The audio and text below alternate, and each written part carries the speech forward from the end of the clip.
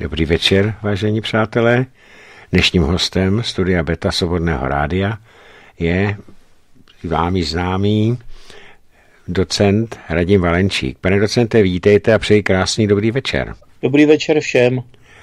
Eh, tak, my jsme si spolu dělali analýzy všech posledních voleb, které tady u nás proběhly.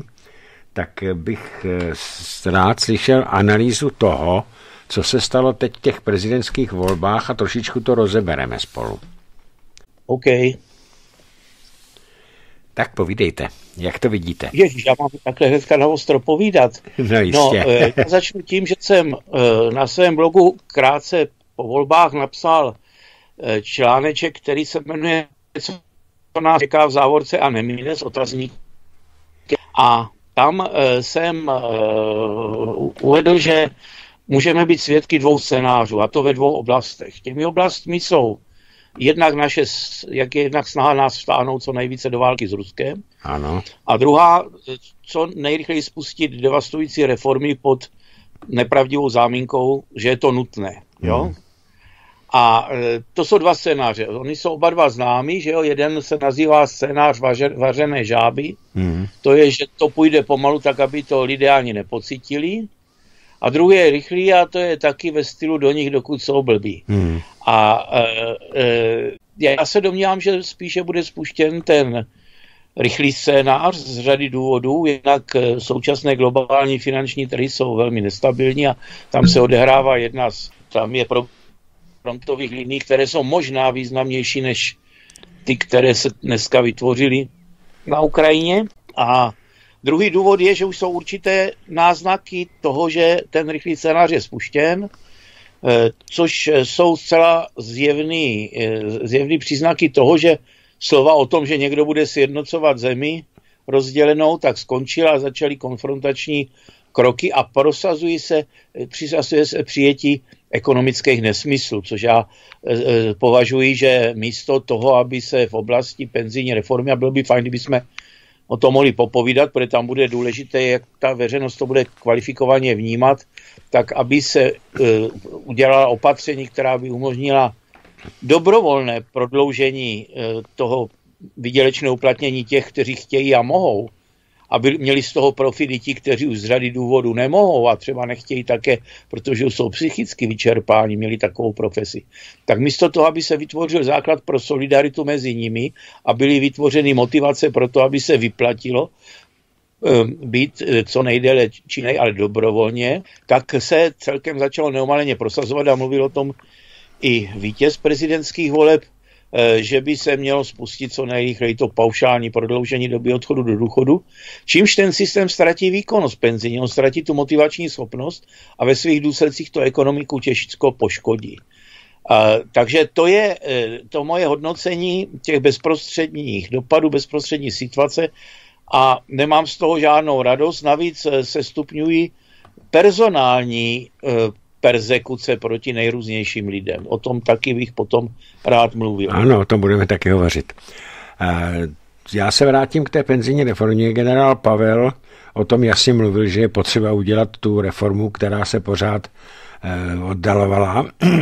Nejenom to zvýšení do toho odchodu do důchodu, tak to je celkem nabílední, že to prosadějí, ale Eh, oni už tam, ta pětikolka otevřela takové Overtonovo okno, nebo vypustila balónek zkušební a eh, hovořili o tom, že bychom měli ty důchody při, přizpůsobit evropským zvyklostem, především Německu. A to je jedna jediná zásada, protože v Německu jsou ty důchody zdaněny. Eh, při výši našich důchodů tam dát ještě 15% daň, tak eh, domnívám se, a to je moje otázka na vás, pane docente, zdali by to neuvrhlo ještě větší počet eh, důchodců do opravdu nesmírné hmotné nouze. To zdanění důchodů. No tak já předně bych byl pro přiblížit eh, náš penzijní systém tomu německému, a to ve dvou parametrech, které jsou nejdůležitější. Jednak pokud se týká výše náhradového poměru, to znamená, jaké procento eh, oproti eh, příjmu průměrnému nebo oproti tomu příjmu eh, tvoří v jednotlivých příjmových kategoriích procento důchodu. ten náhradový poměr je, jestli se nepletu, o více než 10% v Německu vyšší než u nás. Mm. Rozumíme tomu, jo? Čili ano, ano. jestliže pobírám, eh, dejme tomu u nás něco málo přes 40% ze své mzdy, tak v Německu je to přes 50%. A čili v tomto bych přiblížil to Německu. Jestli je zdaněný nebo ne, tak mě zajímá čistý důchod, jo? čistý náhradový poměr. Jaká je technika toho, zda se to odvádí do prospěch solidární báze z eh, příjmu, z odvodu, který člověk dává do penze, a nebo zda se to potom odvádí z výplaty penze, ono to je v podstatě jedno, kam to, jakoby to, to odvodový, tu odvodový břímě přesuneme, jo? Tak to je jedna věc. Druhá věc, v čem bych taky přiblížil náš systém tomu německému, že on je více zásluhový. On je více přiblížný, při, on se více blíží tomu systému NDC, tomu, který je e, příspěvkově definovaný, neboli co tam dám, to podle pojistné matematiky e, dožití do, dostanu zpátky v podobě celoživotní renty, aby ten systém byl motivující a ta e, horizontální solidarita, mezi více a méně příjmovými skupinami je ošetřena právě e, tou, e, tím jednotným základem. Jo? Takže ten německý systém je lepší. U nás je trošku, jak bych tak řekl, zmršený, že byly snahy jednak ho více rovnostářsky upravit, pak zase více zásluhově, pak zase rovnostářsky a on je tak trošku sflikovaný a je velmi obtížné s, tou, s tím základním systémem hýbat Eh, proto ten náš tým, který se touto otázkou zabývá, tak navrhl takové, eh, takovou poměrně jednoduchou věc, která by se mohla realizovat, že nechejme eh, nějakou dobu ten základní pilíř, ten první, bez nějakých zásadních změn, ono je těžké je dělat. Ten náhradový poměr je tam jeden z nejnižších v Evropě, takže tady já nevím, kdo chce ještě co chce krátit a odvolávat se na na, na západ. Jo? E, tam je přitom potřeba si uvědomit, že německé příjmy jsou podstatně vyšší. Takže tam je nejenom vyšší ten, ta, ta, ten, ta, ten důchod z toho důvodu, že tam je vyšší náhradový poměr, ale on ještě vyšší tím, že jsou v Německu vyšší mzdy, takže když někdo něco takové navrhuje a odvolává se na Německo, tak je to chucpe jako přímo. Mm, no, no. A e, e, ten problém je ještě v něčem jiném, jako ekonom. E, musím říct, že když bychom to prodloužili paušálně, tak ten systém ztratí svoji výkonnost. A výkonnost penzijního systému je měřená jedinou věcí k tomu, jak motivuje člověka, k tomu, aby pokud může a pokud chce, mohl eh, být déle vydělečně činný, aby eh, k tomu mu byly vytvořeny podmínky komplexní, tak, aby to bylo pro ně výhodné, ale aby z toho měli výhodu i ti, kteří z důvodu toho, že měli Eh, smůlu v oblasti profesní trajektorie, mají zdravotní problémy, psychické problémy, tak aby oni z toho měli výhodu. Toho lze dosáhnout například i tím, že budu ten jednotný základ posilovat zdaněním. Ale to zdanění nemůže jít na nic jiného, než na posílení toho jednotného základu pro všechny. Rozumíme si. No? Mm-hmm. Nesmí být odvedeno ze systému. Když někteří říkají, že je potřeba ten systém redukovat, aby byly peníze na něco jiného, tak problém naší rozpočtové soustavy není v důchodech. Eh, ten bude až k roku 2050, eh, až začnou odcházet do důchodu Husákovi děti. Hmm. Do té doby my můžeme udělat řadu opatření, která povedou k tomu, že se posílí ta motivační role systému a ten systém bude na věky věků stabilní. Eh, my jsme to propočítali, zdůvodnili, lze si to přečíst jak na mém blogu, tady bych doporučoval posluchačům, ať si poznamenají, je to jednoduché, Radim Valencik dohromady, napsáno tečka píse, jako píše CZ, tam každý den dávám materiál k aktuálnímu dění, tam najdou i to, na co jsem se odvolal. A v úvodu tam najdou i podrobné zdůvodnění toho, jak je to s tím penzijním systémem, a nebo ať si dají kudy z krize, také kudy z krize dohromady CZ, tam najdou vynikající rozbor poradce přes penzijní systém eh, bývalého předsedu eh, parlamentu Štěcha, a poradce odboru eh, Jardy Šulce, kde on to všechno na číslech krásně zdůvodňuje a říká, která cesta pro reformu je nejlepší. Obávám se jedné věci, že přestože sám Jurečka byl proti paušálnímu prodloužení doby odchodu do důchodu a přestože to je věc, která by si vyžádala veřejnou diskuzi a přestože to je věc, kde Nerudová neudělal vůbec nic, přestože tomu čtyři roky předsedala, tak tato vláda udělá všechno pro to, aby zabránila kvalifikované veřejné diskuzi na toto téma. Ona vůbec zabraňuje diskuzi, co si ještě řekneme. A já se taky obávám, co se týče těch důchodů, toho, že vůbec nepůjdou tou německou cestou, že půjdou jenom polovičkou, jak je na u nás zvykem. To znamená, že se nejenom zvedne na 50% ta, ta, ta, ten základ, že to nechají po 40, dneska to je asi 39%, jestli se nepletu, ale to to všechno nechají, ale jenom nám ty důchody zdanějí. To znamená, že nám je sníží. Toho já se no, obávám. To je perverzní, no to je, to je, to je jako na, na, a odvolávat se přitom na Německo, no to je to chucpe, no. No přesně tak. Další věc, co říkáte, pane docente, tomu, co už tady naznačovala eh, naznačovala pětikolka, ať už to byl Stanjura jako minister financí, on, on to říkal už i premiér Fiala, teď to potvrdil eh, nový, nově zvolený prezident, a to, eh, že se zkrátka nedá nic dělat a že se budou zvyšovat daně.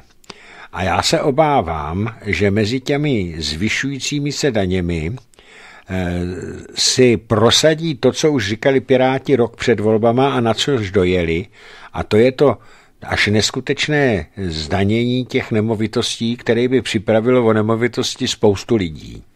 Neobáváte se toho, že k tomuhle tomu tato vláda eh, v čele s loutkou prezidentem sáhne? Eh, tady je reálné nebezpečí toho, že hm, ta Česká republika se po všech stránkách odstne pod tlakem, že se zneužije to, že ta vláda není pro národní. Já jsem řekla, stojím si za tím, že ona se chová k národním zájmům bezohledněji než kterákoliv z protektorátních vlád a že možná má úkol položit tady všechno, aby došlo k velké výprodeji.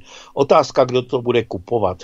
Nejvíc peněz je kumulováno tam, kde byla destabilita a odkud se přesunuli ti, co to tam vyžrali, zase někam jinam. Hmm. E, další věc, která, mě, eh, která tady vládla obavou e, už při volbách, tak to je, že když máme teďka v nejvyšší vojenské funkci prezidenta vojáka, a on se tím předtím vůbec netajil, tak až krásně to prohlásil Jaroslav Bašta, tady u mě v rádiu, tak ještě před volbami, před druhým kolem, když říkal, že kdyby byl prezidentem, když bude Pavel, takže bude, eh, že bude v pondělí, eh, v pondělí vyhlášena válka Ruské federaci, kdyby byl Babiš, takže by byla vyhlášena tam, ta, ta válka té, té Ruské federaci až ve středu.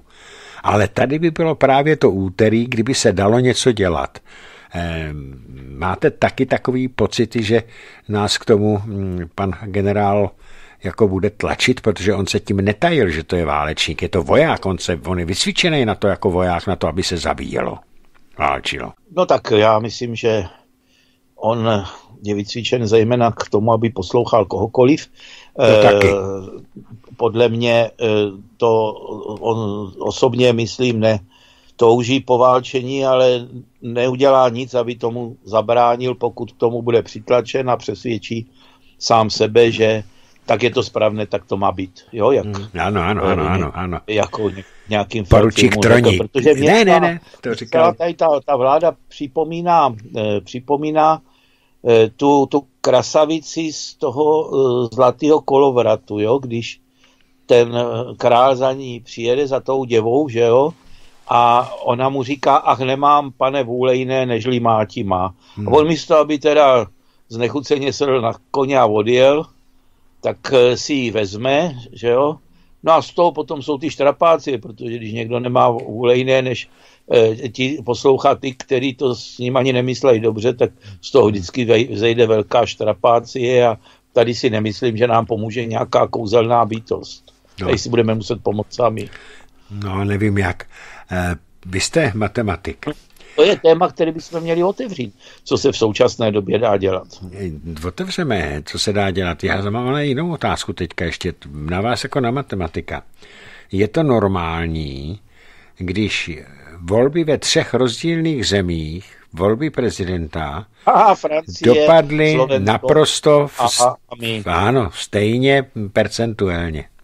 Je to normální? Já no, to... ta pravděpodobnost je uh, mimořádně malá a ten rozdíl těch 8% je ideální tak, aby to příliš nebylo do očí a hmm. na druhé straně, aby se smetly všechny volební stížnosti, že ten rozdíl je tak průkazné, že je nalezení několika přehmatů nemohlo ovlivnit. No, je to, je to každopádně z hlediska eh, matematického eh, je to takovýto rozptýl je eh, mimořádně nepravděpodobný, ale stát se může všechno, že jo byla napsána taková knížka Černá labuť o mimořádně nepravděpodobných událostech. Já jsem ty čísla dostal a byl jsem, říkal jsem si, to snad není možný. Tam to musel dělat,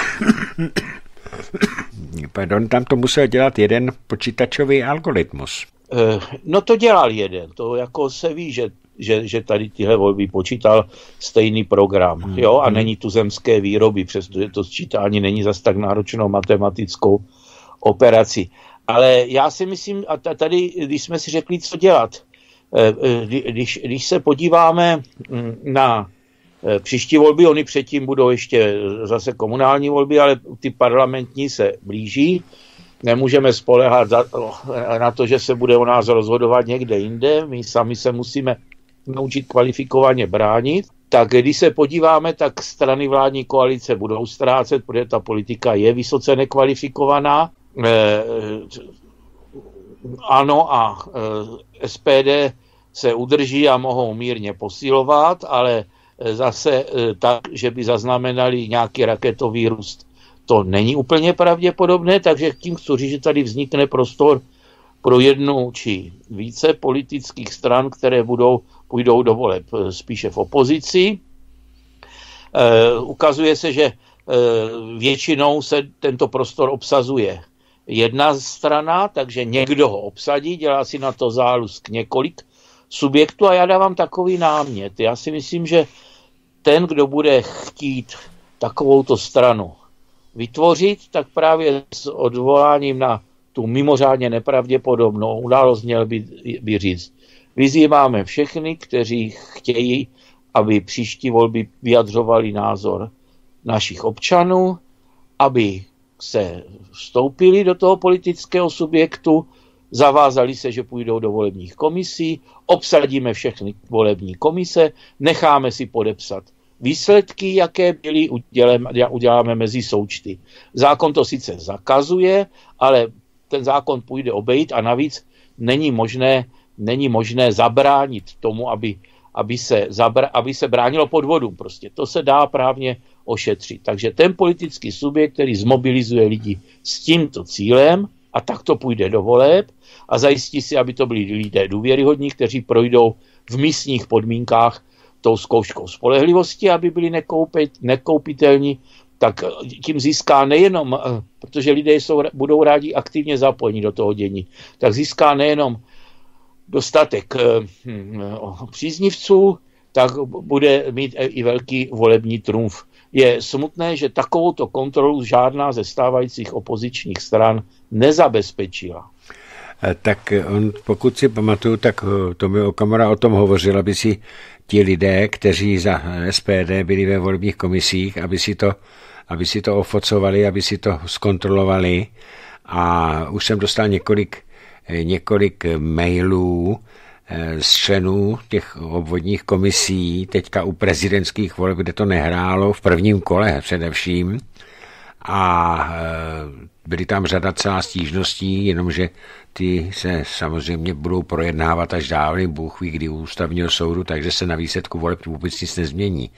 Ale, pane docente, vy si myslíte, že tahle ta pěti koalice, která měla mimo jiné v plánu eh, přijmout, a ona ho přijme, protože oni můžou teď všechno, oni nebudou mít jediné veto od prezidenta, takže eh, oni klidně si zvolí korespondenční hlasování, to je nekontrolovatelné, viděli jsme to na případu amerických voleb prezidentských a je vymalováno jednou provždy. Ne, eh, to korespondenční hlasování nemůže ovlivnit takový počet osob. Jo? To, eh, když, se, když se udělá kontrola, tak to nemůže projít. Hmm, tak další otázka na vás jako na eh, člověka, který si analyzujete informace. Já jsem čet od různých politiků tři, celkem tři scénáře o tom, jak dopadne ANO. První scénář říká,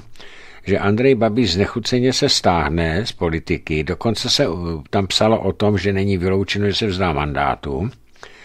A druhý, a ano se tím pádem rozpadne. A druhý scénář bylo, že Andrej Babiš sice nebude chodit pracovat do sněmovny, ale předsedou zůstane, jenomže se podaří eh, těm eh, pětikolkám uplatit, přemluvit a zkrátka jinak získat poměrně dost poslanců z toho velkého klubu ANO, a který v podstatě přejdou na jejich stranu, takže by měli ústavní většinu. No a třetí scénář, ten by byl nejzajímavější, že se Andrej Babiš, podobně jako, jako Robert Fico, jakoby stáhne do ústraní, udělá pořádnou čistku mezi svými členy a mezi vedením, protože aby dva členové z vedení ano hlasovali proti němu a netajili se s tímto každé straně neprospívá. No a počká si v klidu na další volby a bude dělat dobrou kampaň, protože dneska vyhlásili na Slovensku, že budou předčasné volby 30. září, 29.30, myslím tak nějak. A slyšel jsem tam takové analýzy, že tam má mm, ohromný náskok v preferencích právě Robert Fico, Fico a jeho směr. Není tenhle ten scénář, eh, to je ten, ta třetí, ten třetí způsob toho, co bude následovat, eh, je pravděpodobný vůbec? No tak eh, především já si nemyslím, že by Babiš si mohl dovolit uvolnit ten prostor, který, a ten manévrovací prostor, který má a tu pozici, kterou má, protože kdo se dá na vojnu, musí bojovat, ta jeho ty, jízda na tygru bude muset pokračovat. Prostě on nemá jinou možnost. Já, si, já jsem si skoro o tom přesvědčen. A e, takový ty, že odejde oni opatrně k tomu, nutí, vydírají a podobně. E, já e, myslím, že on zůstane, jestli si ponechá tu přímou kontrolu v rukou, nebo to bude tu pozici svoji si hlídat zpovzdálí, to nedokážu odhadnout, ale on e, podle mě e, se té role politika nevzdá, protože v podstatě ani nemůže. Hmm. Eh, proč by nemohl? On má teďka svůj majetek ve svěřenských fondech, tak je zruší, zase si to veme na sebe a bude dělat dál oligarchu, bude dál vydělávat peníze, no a z politiky se stáhne. I to je možné. A nechá, nechá, nechá se uštvat, nechá se uštvat v tom systému permanentních persekucí, které budou následovat, když nebude mít alespoň opoziční politické krytí. Ano, ty persekuce tam budou samozřejmě a ty budou, dokud bude Andrej Babiš živ. Protože ano, proto já si myslím, že on, že on nemůže ten hmm. politický prostor vyklidit. Tak a jsme u dalšího. Eh, Ale to je můj názor. Jasně, jasně. Já, já si osobně taky myslím, že on to ano nepustí. A ten třetí scénář, že on eh, zkrátka udělá čistku, ozdraví tu, tu, tu stranu a nebo to hnutí a bude vládnout pevnou rukou, takže by mohl mít v těch eh, příštích volbách, které budou za tři roky, protože nepředpokládám, tady není vůbec žádná šance předčasných voleb, tak jako na Slovensku, a potom by se mohl vrátit eh, v síle. Eh, nicméně, co říkáte tomu, že Andrej Babiš se svůj politik chová jako slon v porcelánu, protože dva dny před volbami, dva nebo tři dny před volbami, když veřejně vyhlásil, v podstatě útok na SPD, které jasně Tomiem Okamurou deklarovalo, že SPD nepodporuje eh, Petra Pavla, co by vládního nebo pětikolkového kandidáta, tak je jasné, že podporuje toho druhého, tak on tím svým nešťastným vystoupením přišel o hodně, si myslím, hlasů voličů SPD, který by mu dali protestní hlas proti Pavlovi, protože 90 tisíc voličů eh, SPD nešlo k volbám ve druhém kole. No, mě to tak, mě to tak trochu připomíná tu eh, situaci, když eh, s Paroubkem. To má hodně věcí podobný scénář. ono není tak těžké naší zemi toho lídra obklopit lidmi z nich, někteří ho vedou na útes, přestože se tváří a jsou mu doporučení jako nejlepší poradci. Hmm. Tehdy to byli paroubkoví poradci, kteří ho navedli na mělčinu a možná dokonce na skálu, hmm. když byl premiérem. Tady toto je obdobné. Já si myslím, že ti jeho poradci, a k, k němu je zablokován přístup, k němu se nikdo pochopitelně nedostane, tak s ním se hráli neúplně poctivou hru. Hmm, ten, jistě, ale eh, tak přece má vlastní rozum a eh, umí chápat eh, politický, politické je, jestliže je někde předseda hnutí řekne, nepodpoříme kandidáta Petra Pavla, no tak je jasný, že podporuje toho druhého, protože kdyby nechtěl nikoho, tak řekne, nechoďte k volbám, ale to naopak. SPD říkalo, choďte k volbám. A že SPD nepodporuje nepodporuje pětikolku, teda Pavla. Předtím měl zase to, to, to určitý neúplně šťastný výrok eh, Bašta, který dokonce zopakoval s tím házet bílý lístek, to znamená běžte k volbám. Ano. A ne, ne, nevolte eh, Pavla, tak to znamená běžte a hoďte bílý lístek, tak si to někteří také vyložili a ta reakce byla, jo, samozřejmě, že v té chvíli se muselo kolem voličů SPD chodit velmi opatrně eh, a že tam ten výrok, takových výroků bylo více nešťastných, ale já si myslím, že Eh, tady do toho ho navezli jeho poradci, který mu říkali, musíš to udělat. No. Hmm, hmm, hmm, Získáš voliče z druhé strany, protože jako jakýkoliv spojení ze SPD, difamující a podobně, to, tomu takhle mohli nakecat a on tomu podlehl. No. To je také docela možný.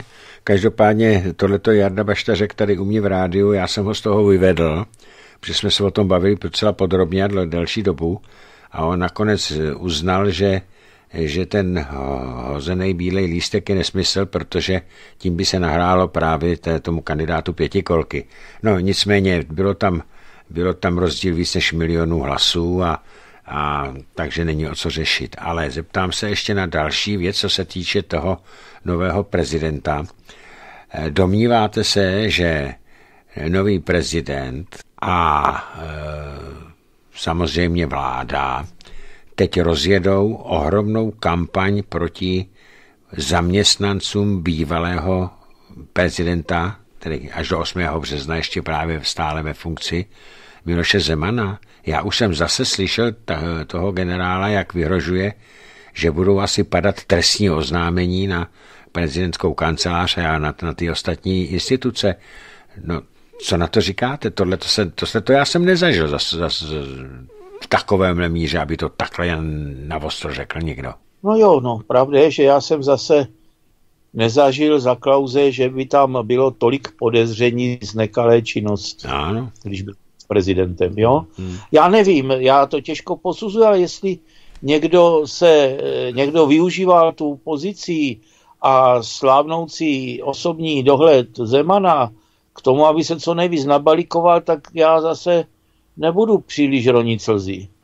Já taky ne, já se ale bojím. A oni nesou při nejmenším odpovědnost za to, že izolovali Zemana a nevybavili ho kvalifikovaným odborným zázemím, že si uzurpovali pozici, říkat mu, co může povídat a co ne a dopadlo to, jak to dopadlo. Je to pravda, tohle to vím dokonce od, od Okamury, který si domlouval po telefonu o soukromém telefonu s Milošem Zemanem schůzku, aby tam přišel, protože si se kamarádili. A ta jeho bublina ho k němu vůbec nepustila. Vůbec se tam k němu nedostal, načež potom Zeman volal, kde byl, že ho čekal a že nepřišel. Tak mu říkal, no, teď mě tam nepustili. Proto taky oni ho v podstatě ten poslední dva roky totálně izolovali od dění, já si myslím. No, já někte- o, o některých osob z jeho okruhu si nedělám žádné iluze. Tak to já taky ne. To bylo u každého. Eh, jdeme na další věc. Vy jste tady nastínil, jak by to mohlo, v do, jak, jak bychom se mohli bránit do budoucna, že tady je prostor tři roky do nových parlamentních voleb ke vzniku nějaké nové strany vlastenecké a k v podstatě ke změně rétoriky té stávající, tedy SPD, tak, aby uspěli a aby se tady to kolo eh, toho směřování otočilo. Ale, pane docente, co říkáte na to, že oni chystají a už to provozují, už to praktikují, eh, to, že totálně umlčují, umlčují opozici, a to opozici z řad občanů, alternativu, protože přibývá soudních řízení s lidmi, kteří jenom něco napsali na, na, na Facebook nebo na jiné sociální síti. E, přibývá soudních e, jednáních nebo žalob nebo soudních, soudních jednání e, s lidmi, kteří natočili video, kteří říkají pravdu. Ne, teďka oni mají připravený ten cenzurní zákon, který totálně zavře ústu všem, kteří s touto vládou nesouhlasí a to tak, že oni řeknou, že, si, že cokoliv můžete říct je dezinformace, i když to bude pravda, že dneska pršelo, a oni řeknou, že to je dezinformace a že to ohrožuje bezpečnost státu, je to trestný čin. A tím v podstatě pozavíraj anebo umlčej každého, kdo by chtěl veřejnost informovat o tom, co vlastně za tím činností té vlády je. Nemáte z tohohle toho obavy? Já ano. Ale samozřejmě z toho mám obavy.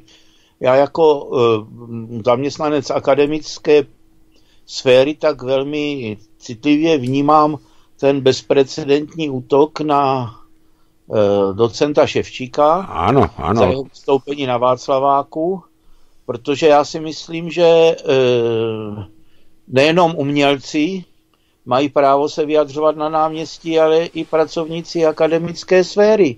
A že e, pracovník akademické sféry dokonce má povinnost se některým věcem vyjádřit.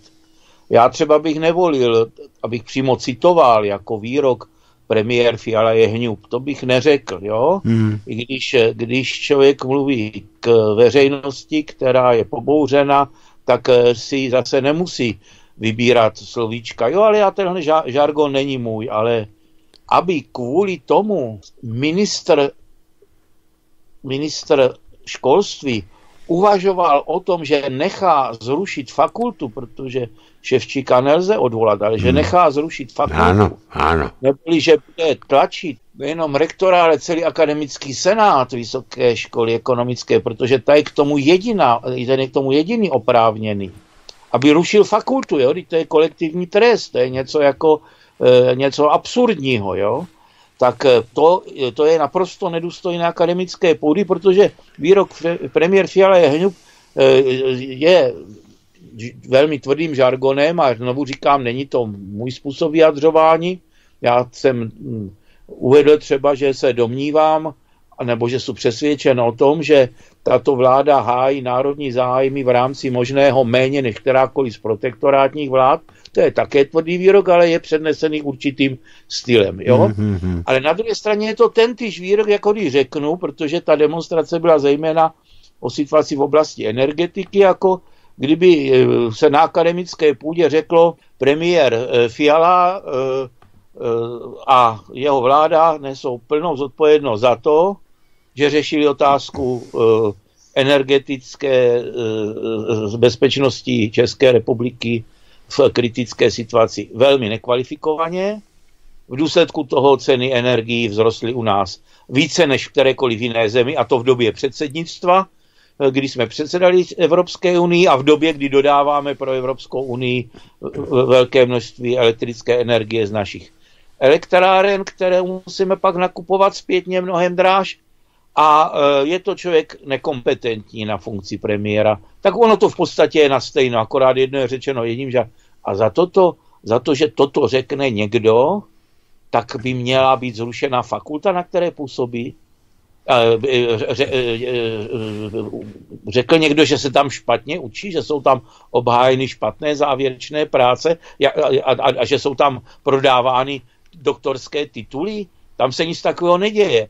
E, údajně se argumentuje tím, že to podepsali studenti z jeho fakulty. Pozor, to podepsali studenti z fakulty z doby, kdy tam byl předpředcházející děkán, za kterého ta fakulta byla těžce poškozována. Jo? On byl příliš verkojší, nechal proplácet leco se svým blízkým přátelům na té fakultě, no kteří se mu teďka takovýmhle způsobem odvděčují. Jo? A to je velmi nebezpečný precedens, protože když padne akademická půda, tak pak budete mít pravdu v jedné věci, že si budou moci soudy objednávat e, posudky odborné jenom od lidí, kteří budou zastrašeni, kteří se budou bát a bude možné zmanipulovat jakýkoliv soudní proces. Tak a teďka mi řekněte, teď jste mi řekl teda novinku. Já jsem samozřejmě četl, že studenti e, té fakulty, kde, které pan Ševčík, já ho mám taky v plánu pozvat někdy v dohledné době, tak eh, to podepsali proti svému děkanovi nikoli proti panu Ševčíkovi, ale proti tomu no, předešlému. A oni to teď ne, použili ne, proti podepsali němu? Proti, podepsali to proti Ševčíkovi, ale jsou to nikoli studenti, ale absolventi té školy. A tu školu absolvovali v té době, když tam byl děkán uh, Švart. Aha, aha, takže jsou tam nějaké vazby. Mm-hmm. Je to patrně doložitelné dokonce. Mm-hmm. Víte, to je přesně ono. E, podívejte se, kdyby mu vytýk, bylo vytýkáno pochybení v práci, pochybení ve vedení toho, eh, té fakulty, špatném výkonu děkanátu, proti tomu nebylo jediné, jediné slovo. Ono jim vadí, že říká veřejně pravdu, která není tou jedinou povolenou pravdou. Pane docente, Teď jsme zpátky v 50. letech. No tak já bych to neviděl ani tak, že v 50. letech pravda je, že tentokrát se vysoké školy nezavírají, ale je snaha jim akorát zavřít ústa. Ano, ano, je to hrozné. A další věc, tím zákonem, protože to, co má připravený Rakušan, ten zákon cenzurní, už mají na to nejvyššího cenzora, já nevím, co ještě, tak představte, co říkáte tomu, že nějaký člověk, jeden člověk bude posuzovat, co je dezinformace a co dezinformace není. No to je přece, jeden člověk bude posuzovat, co je a co není dezinformace. Mimochodem, ať nám tedy ta vládní pětikolka definuje význam slova dezinformace. No samozřejmě, právně to je velmi zajímavá situace, protože zmocnit někoho, aby obcházel právní systém a dokonce ústavu, no. Eh, aby tam nebyl přeskumný mechanismus, tak si myslím, že to je v rozporu s příslušnými ústavními zákony. Jo, ten zákon je neústavní a nemůže být napsán ústavně podle mě.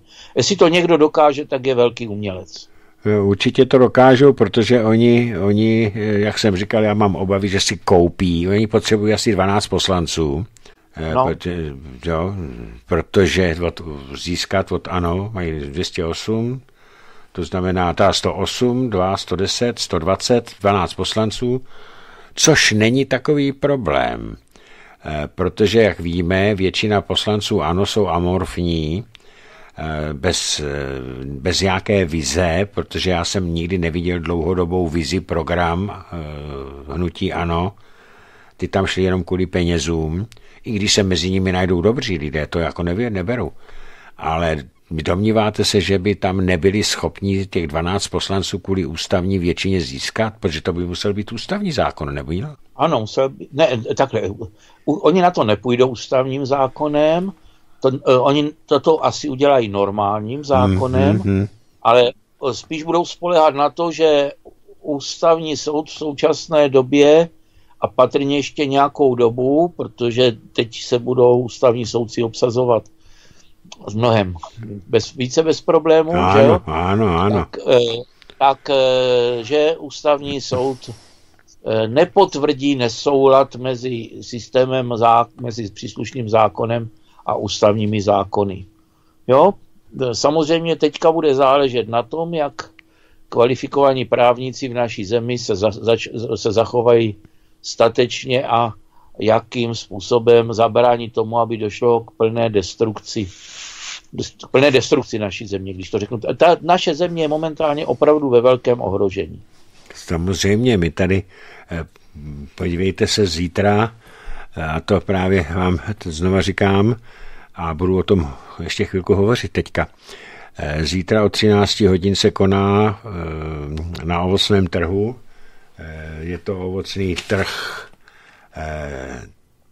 ovocný trh 14 ve čtvrtém patře. Je to a je to, je to v dveřích číslo, já se na to musím podívat, číslo, tam se všichni určitě nedojde to, číslo 409, tak se koná soud s, se mnou, Josefem Skálou, Jiřím Šifrinem, tedy Václavíkem a spolkem Svobodné rádio. A teď, pane docente, poslouchejte a já bych rád slyšel vaše e, vyjádření.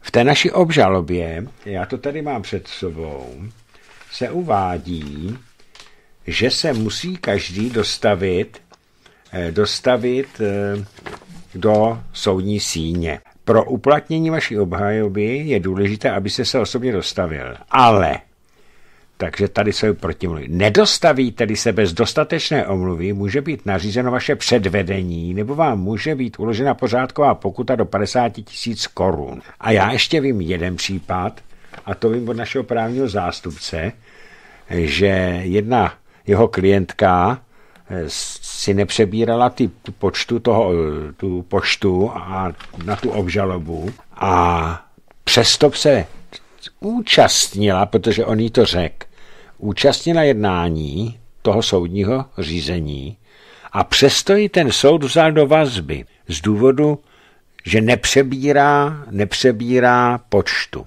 Kdyby tam nebyla, chápete to? Tohle to je právní stát. Ona se měla dostavit ten a ten den k soudu. Ona tam byla, ale předtím si nevyža, ne, ne, nesebrala poštu. A přitom je tam další zádrhel.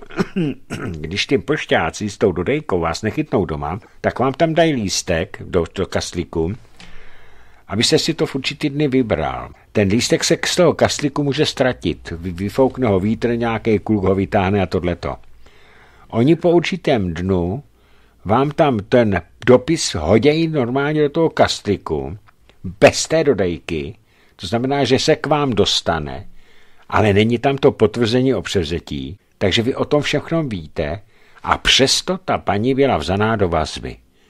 Pane docente, co tomu říkáte? Tohle to je právní stát? No, mně se to zdá dost absurdní, no. E, o to se, to se stalo.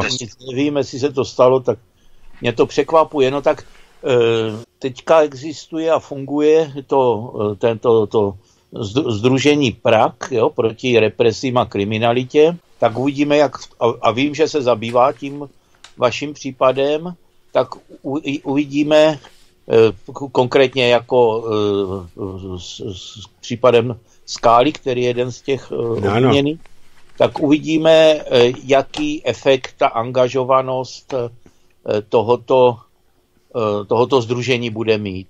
Jo, já sám jsem na tom zvědav, jak, jak, jak, jakou to združení, které určitým způsobem, způsobem navazuje na ten výbor pro ochranu nespravedlivě stíhaných bude mít. Samozřejmě ta situace jiná, tehdy byl svět bipolární, eh, jakmile k něčemu takovému došlo, tak eh, hnedka Svobodná Evropa a Hlas Ameriky jako na to upozornili. V současné době právě ten cenzurní úřad může sloužit i pro, pro to, aby byly, aby byly umlčena ta média, která by o takovýchto případech chtěla objektivně, nestraně a vyváženě informovat. A o to tady jde, protože. A další věc. E, taži se píše bez žádné a důvodné omluvy. My jsme posílali na soud prostřednictvím našeho právního zástupce lékařskou zprávu od očního lékaře Soni Zikmundové, že 26. ledna byla na velmi závažné eh, oční operaci ve Sešovické vojenské ústřední nemocnici, kde ho ji operoval sám primář, tak to bylo závažné, sám primář. A eh, ten, takže ten ošetřující lékař napsal potvrzení pro soud, že se nemůže dostavit k soudu toho na to jednání, protože musí být v naprostém klidu. Tam se jednalo o potrhanou sítnici, odchlípenou a ještě potrhanou sítnici. A jakýkoliv námaha, jakékoliv rozčilování, nervová zátěž by mohlo způsobit trvalé oslepnutí, že by se to nedalo spravit už.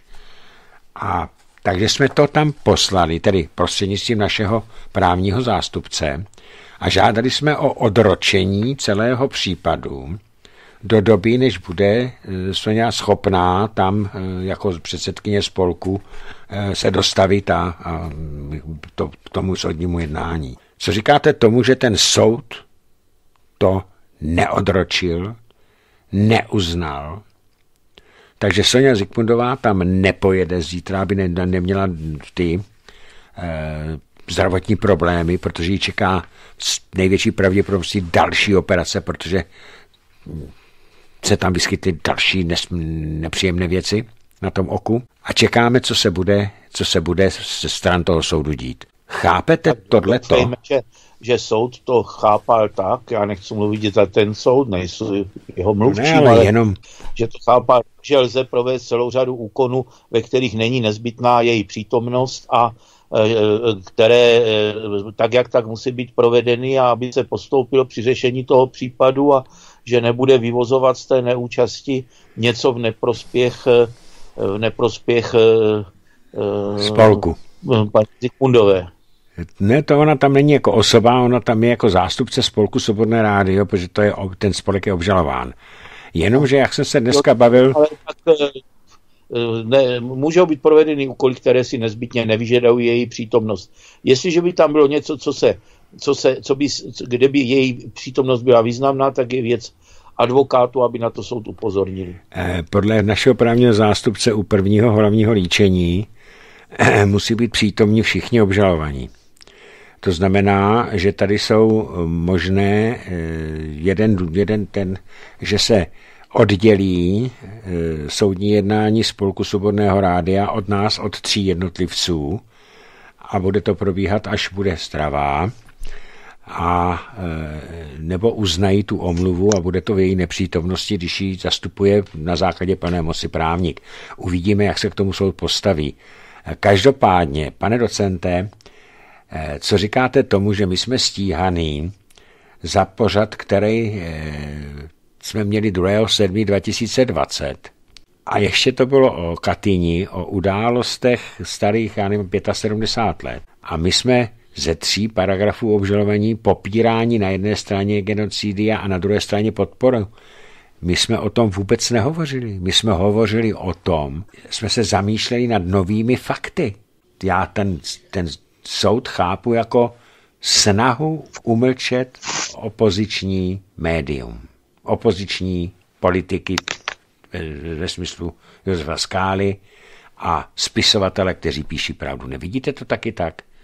Že to je čistě no, politický já přiznám, proces? že jsem si na to chtěl vytvořit nezávislý názor, takže jsem si ten pořád celý poslechl. Ano. Eh, ten pořad je zajímavý, přináší nové pohledy.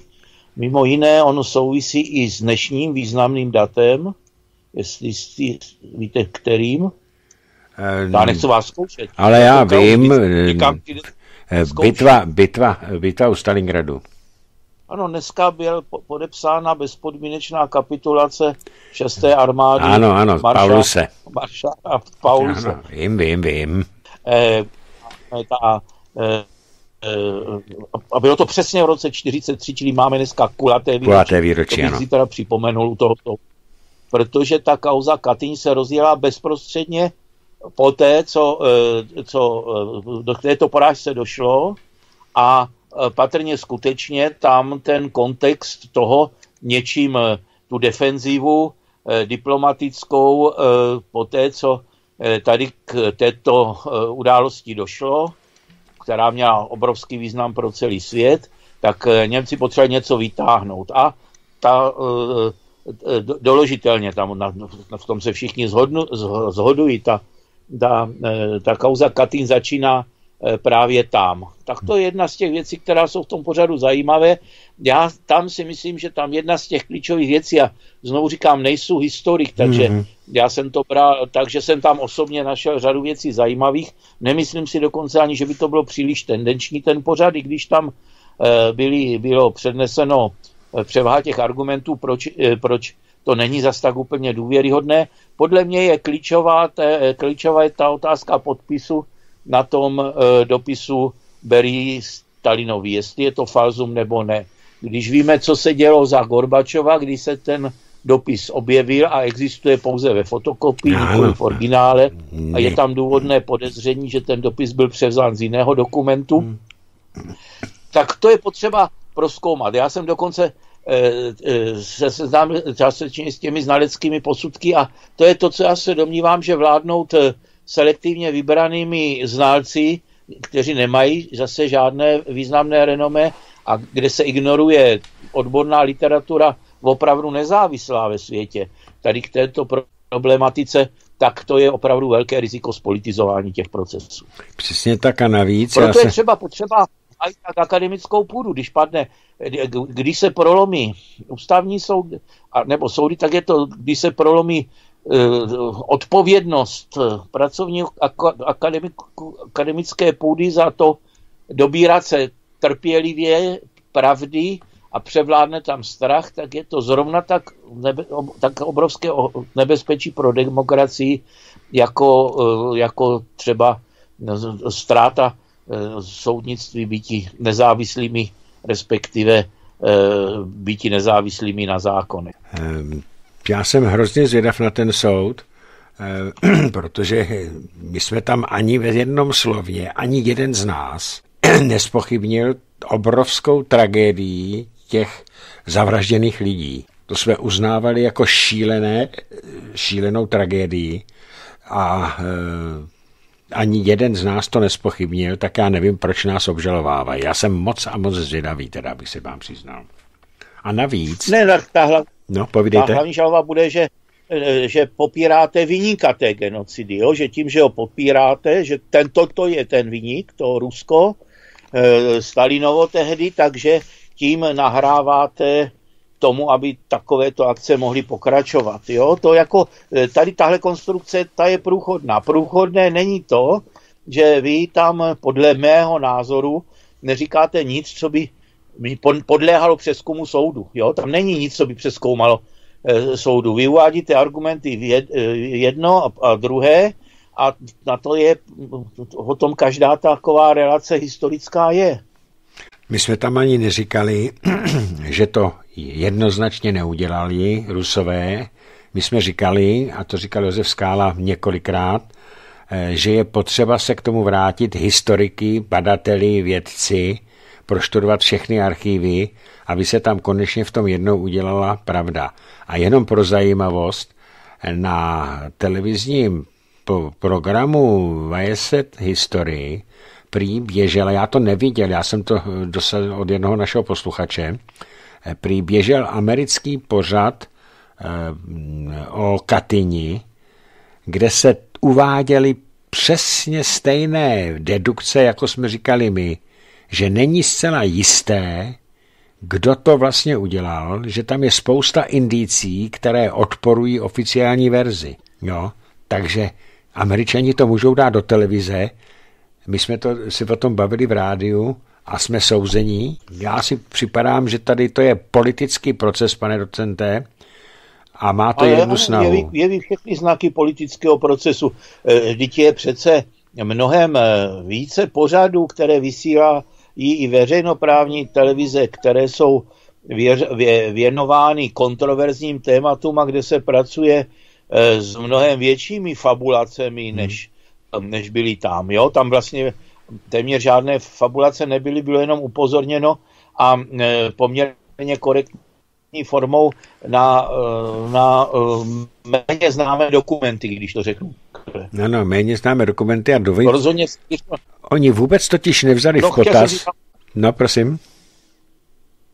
No, já jsem chtěl říct, že, že tam nebylo ani té jednostrannosti a fabulace tam bylo méně než v jiných pořadech.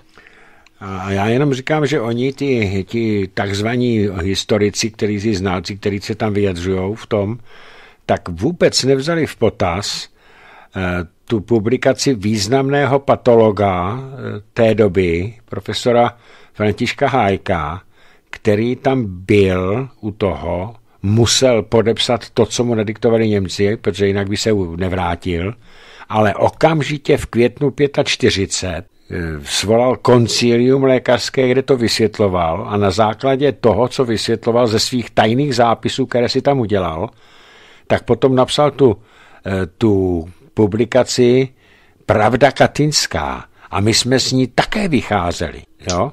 Takže tuhle tu publikaci eh, v elektronické podobě samozřejmě má i, právní zástupce Spolku Svobodného rádia i můj. Takže já budu požadovat u soudu, aby se to, aby se to tam e, zohlednilo. No ale vůbec e, na závěr té dnešní první hodiny, pane docente, já jsem rád, že tam budete jako zástupce Praku, jestli se nepletu. Já ji přijdu jenom před, já patrně se nedostanu dovnitř, protože tam nebude tolik míst a hmm. já mám i určitý program, který Jasný. ten den zvládne jo, ale mělo by tam být hodně lidí a budete mít dostatečnou opor, podporu, eh, aspoň morální, tichou morální podporu. Hmm. Za to budeme moc krát vděční. A já musím jenom říct vám, všichni posluchači, kteří se tam chystáte nás podpořit, že já mám ve 12 hodin schůzku s právníkem těsně před tím jednáním, abychom si ještě doladili nějaké body, takže tam eh, před ten soud Eh, přijdu, tak počítám ve tři čtvrtě na 12, abych se s vámi mohl aspoň pozdravit. Tak. No, kdo tam přijde, tak nebude litovat, bude tam možná hodně zajímavých lidí. Přesně, byl bych velice rád, kdybych se s nimi mohl tam vidět, takže uvidíme zítra, ale na druhou stranu vám zase řeknu, že e, není to nic příjemného, když jdete jako zločinec se postavit před soud. Já jsem před soudem nikdy nestál. Takže... No, je to nepříjemný, no, určitě. No. Takže, pane docente, máme za sebou první eh, hodinku povídání. Vážení přátelé, vy teď eh, pište na pana docenta a vůbec k tomu pořadu a ke všemu, co jsme se tady povídali, své připomínky, dotazy, náměty na telefon, obvyklý telefon eh, Studia Beta 731 720 756 No a jak je u nás zvykem ve čtvrt na devět po přestávce, eh, budete moci i telefonovat přímo do vysílání a ptát se pana docenta na to, co by vás zajímalo. Pane docente, pustíme si pár hezkých písniček a já se zatím eh, odmlčím a budu se těšit na slyšenou opět ve čtvrt na devět. Eh, ano, a přesně tak, ve čtvrt na devět. Máme po přestávce, já volám docenta Radima Valenčíka, slyšíme se? Vždy ve střehu. Tak, to říkali musketýři, nebo kdo to říkal? ne, ten Adele ještě nevečer. Jo, jo, jo, jo, jo, vlastně, no jo, no jo, no jo, do Čolomanský. Nick Carter. Nick Carter, ano, ano, ano, ano. Eh, tak eh, jdeme rovnou na otázky a znova opakuji, ta, telefonní číslo 731 720 756 sem do studia Beta. Tak, pane docente, první dotaz na vás. Dobrý večer. Co říkáte na podrazácké chování hejtmana Moravskoslezského kraje před prezidentskými volbami? A druhá otázka. Vznikne další stana usilující o do parlamentu? E, jinak, pane Vladimíre, vám ten soud dopadne, ať vám ten soud dopadne dobře, protože jste pramluvnulý a nevysíláte nepodložené informace, píše Mirek Vaněk. Pane Mirku, Vaňku, děkuji moc. Tak pane docente, co říkáte na to moravskoslezského hejtmana z ANO, který se veřejně e, vyhlásil, že nebude volit svého předsedu? No tak e, to není poprvé, co strana podrazila svého šéfa, který ji vybudoval v podstatě takové případy známe už předtím. Ano, e, ano, u Miloše Zemana. To je důsledek toho, že mm, eh, do politiky jsou dostáváni různou cestou lidé vydíratelní a snadno manipulovatelní. A pak se to projevuje navenek takto, že když se láme chleba, tak eh, se na některé přitlačí. Proto jak jsem říkal, je reálným nebezpečím to, že eh, se prolomí ústavní většina. To je jeden z takových těch prvních balonků, ale s tím se musí v takovéto situaci počítat, jo? Když, když ty volby dopadnou takhle, dejme tomu, z našeho hlediska nešťastně, no tak potom se za to platí. A platíme za to, že jsme nedostatečně používali rozum, to si také přiznejme, že mm, když má někdo peníze, moc vydírání, eh, tak eh, čím se proti tomu dá bojovat? No jedině tím, že proti tomu postavíme rozum a eh, perspektivní vizi přitažlivou. A když se neustále spochybňovalo, že je to pro lidi složité, že lidé neumí přemýšlet a že je potřeba vsadit na nějakou akci, no tak potom se nepodařilo ten nástup toho, co opravdu považuji za zlo, zastavit čas a teď sklízíme tak trochu plody toho. Proto je nejvyšší čas si položit otázku, co udělat pro to, abychom, a dneska to lze formulovat i tak, abychom přežili. A ta druhá otázka od uh, Mirka. Uh, jste opravdu přesvědčen... Ale přece už se o té jsme už mluvili. Ne, jestli jste opravdu přesvědčen, že vznikne nějaká taková relevantní strana, která by měla šanci. Já jsem řekl, že se tady nabídl poměrně velký prostor pro vznik takové strany, že několik subjektů o to usiluje a že je velmi pravděpodobné, že vznikne. To jsem mm-hmm. říkal já nevím, už k tomu nic chytřejšího nevymyslím. No já, že takových stran už tady bylo, vzniklo spousta takových stran, které měly vlastenecký program a všechno a neuspěli, protože nedokázali, nedokázali oslovit dostatečný počet voličů a neuměli se tak jako prezentovat.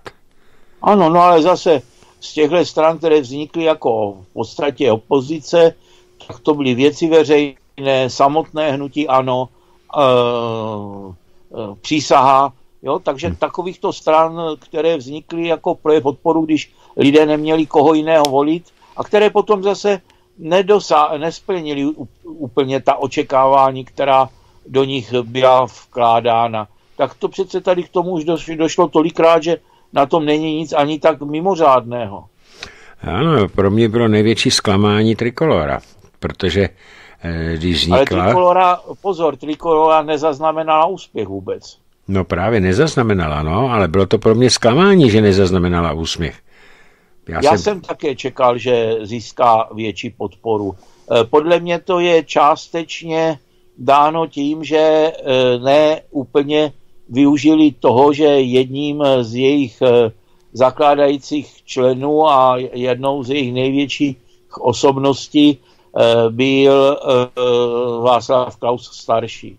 To je podle mě, to, že nedokázala toho trikolora využít, je jedna z hlavních příčin jejího dost velkého až nečekaného neúspěchu. No ono, to je byla vina, ale Václava Klauze mladšího já jsem tenkrát četl a moc dobře to pamatuju, že Václav Klaus projevil velký zájem do trikolory vstoupit a pracovat s ní k starší. A Václav Klaus mladší ho odkázal do patřičných mezí, že on tu stanu založil a že on jako státa, tedy bývalý prezident Václav Klaus starší, může fungovat jenom jakoby poradce zahraničních vztahů a tak dále, ale že do trikolory, do vedení trikolory nechce. Takže Václav Klaus starší se naprosto, naprosto odstřihl a odmlčel. A já se to taky myslím, že to byla velká chyba, no. Ano, tam to bylo selhání patrně opravdu toho Václava Klauze mladšího. No, protože já jsem tomu dával dost velký potenciál, bohužel eh, taky jsem byl zklamaný. No, tak jdeme dál. Eh, dobrý večer, pane Kapale. Píši z Německa. Nevím, od kdy máte ty falešné informace. Tady si vydělala moje kamarádka architekta 1600 EU čistého. Buš stojí, byt stojí nájem 700 EU. 400 EU, eur, zatopení, elektriku, vodu a tak dále. Já křičela, lidi, až budete z, z, z vašeho důchodu platit daně a nemocenskou, tak se budete divit. Nikdo tomu nevěřil. Já platila nemocenskou celý život, také si to užijte. Podívejte se spíš do Rakouska, tam je nejnižší Eh, nejnižší couch 750 eur a mají 14. důchod. Moc vás zdravím, držím palce Milena Srsková. Eh, já teda nevím, co se paní Mileně Srskové nelíbí. Pane docente, To jsou fakta, přeci to jsou čísla, vy je znáte, ne? No samozřejmě, jako ne, nelze srovnávat, když si někdo, takhle, život v Německu je v něčem o něco dražší, ale ne zas o tolik a ty příjmy a zejména důchody jsou násobně velké. Já si taky pamatuju, eh, tehdy, že se počítalo, že se počítalo, jak je ty, oni tam mají ty se sice dražší byty a já nevím co ještě, ale na druhou stranu, co říkáte tomu, pane docente, že jsem četl před nějakým, no bylo to v době po covidové, eh, že si udělala nějaká redakce, koupila v Lidlu v Česku přesně stejný hm, to sortiment, který to později koupila v německém Lidlu a ta cena, bylo to nákup asi za 1200 korun u nás v Česku a v Německu to v přepočtu vyšlo asi na 800. Že i jídlo oni mají lacinější než my a přitom jsou nespochybnitelné vyšší, vyšší eh, ty mají příjmy. Ano. příjmy. Eh, eh, ono, ty věci se opravdu nesrovnávají tak snadno po technické stránce, ale já si myslím, že přece jenom jsme na tom o dost hůře, než jsou na tom v Německu. Jo? A že, že ještě ta cesta k nějakému částečnému srovnání bude ještě dlouho trvat. Navíc tady je mno, jako největší nebezpečí a, a reálné nebezpečí, že tady hodně firem e, právě díky vysokým cenám energii e, ztratí schopnost e, být konkurenceschopnými a, e, a budou muset to položit. Teda respektive to není jako nějaká hypotetická hrozba. Tady k tomu pokládání našich podniků už dochází, je otázka v jakém rozsahu, jo? ale ten proces už začal každopádně. Máte pravdu, já jsem dneska zrovna četl, že Škodovka Mladá Boleslav bude, eh, přechází z třísměného na jednosměrný provoz. Jednosměný provoz. To znamená, že bude se chodit jenom, ten titulek zněl, škodováci budou chodit do práce jenom ráno. Eh, to znamená, že se tam bude utlumovat výroba, eh, znamená to, že se bude muset propouštět z toho, z, toho, z té informace to logicky vyplývá. No to já považuji za největší riziko a mám z toho určité obavy, jako člověk, který přece jenom eh, ví, že aby se mohlo spotřebovávat, tak se musí vyrábět. Další věc, co říkáte na to, že do, na, na podporu německých firm vzhledem k té vysoké energetice, tak nalíjí, německá vláda nalije strašnou, strašných miliard našich korun, tedy tam se jedná o miliardy eur dokonce. Takže oni, my budeme v podstatě nekonkurenceschopní, protože tady se to nestane. Ano, to je jedno z dalších rizik. Já jsem právě byl na obhajobě vynikající práce z hodou okolností na uh, uh, fakultě, kde je děkanem e, docent Ševčík. Ta práce e, byla všemi oceněna. Ta komise, u které se obhajovala doktorská práce, tak byla velmi reprezentativní. A závěrem té práce bylo, že to, co se stalo v Německu, je důsledkem chybné energetické politiky, že bychom se z toho měli poučit a Eh, komise dospěla k závěru, že by ta práce měla být, eh, měla být eh, vydána co nejdříve tiskem, protože je důležité, aby se u nás něco takového nestalo. Je to v zájmu, hmm. je to v zájmu všech. Jo? A ta, to Německo má velké problémy, ono se je snaží, což je logické, přenášet na ty, kteří se nemohou tolik bránit, jo? takže část problému, které pocitujeme, je dána i eh, tady tímhle jakoby hm, exportem těch problémů do našich podmínek. Eh, ten slabší vždycky musí počítat s tím, že k něčemu takovému bude docházet. My jsme si svoji pozici oslabili rozdělením státu. Já jsem na to tehdy upozorňoval v, v parlamentu, když jsem byl poslancem a vůbec nemám radost, že, jak se říká, na má slova došla ale to jako zatím se vzrušovat podle mě nemá cenu. Jak já říkám, nemá cenu brečet nad rozlitým mlékem. Teďka jde o to, co nejintenzivněji se zabývat otázkou, jak eh, se vrátit zemi k kvalifikovanému rozhodování, které by jí umožnilo přežít a pokud možno přežít důstojně. Tak zní dneska otázka. Bohužel, tak jsme do takové situace jsme se dostali. No a já se ptám jinak. Eh, vy tu záchranu naší země vidíte jinak než změnou politické reprezentace? Já ne. Tam by muselo dojít k, zách- eh, ke změně politické reprezentace. vytvořený pro podmínky pro změnu politické situace. A e, kdo si myslí, a já jsem vždycky ten názor nesmírně kritizoval, považoval jsem ho za nesmírně nebezpečný, že až se lidé naštvou, tak pak to půjde jak po másle. To je sebevražedný, nezodpovědný, hloupý názor. A ti, co ho říkali, by se měli chytnout za nos, protože oni nesou podstatnou část viny za to, že to došlo, kam to došlo. A e, první, co potřebujeme, tak potřebujeme rozum, abychom se sjednocovali na základě kvalifikovaného vidění reality. To prostě bez tohoto může být ten odpor účinný. A do toho pořád ještě máme hodně daleko.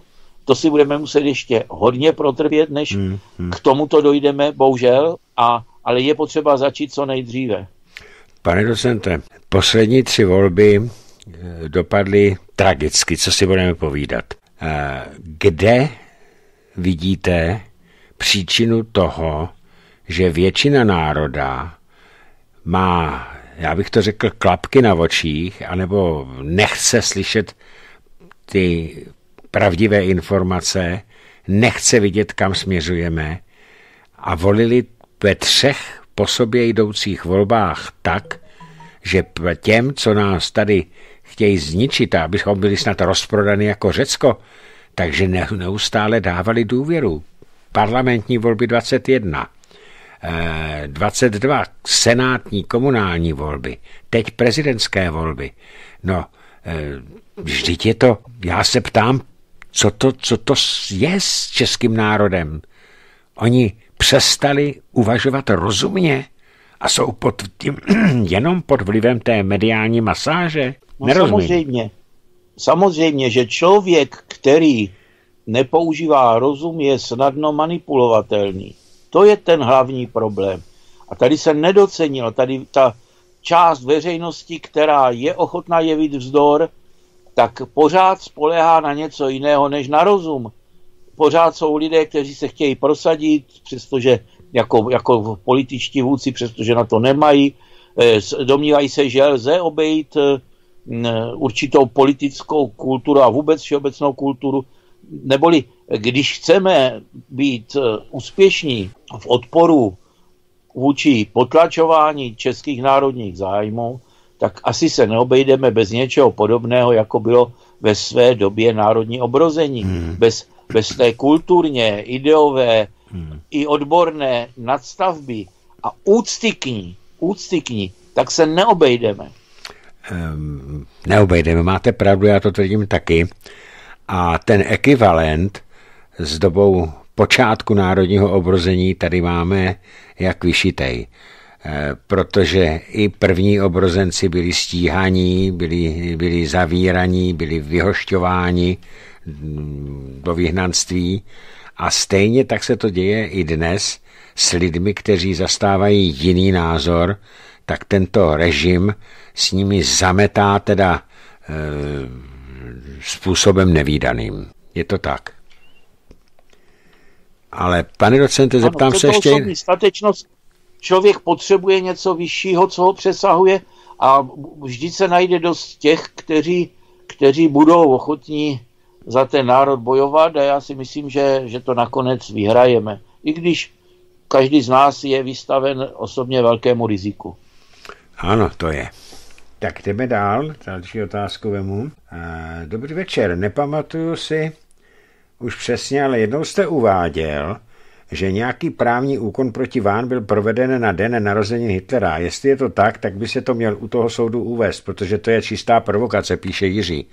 Ano, to jsem říkal, protože jsem šel eh, byl pozván k výslechu na proti, eh, proti, já tomu říkám politická policie, je to ta Národní centrála proti organizovanému zločinu.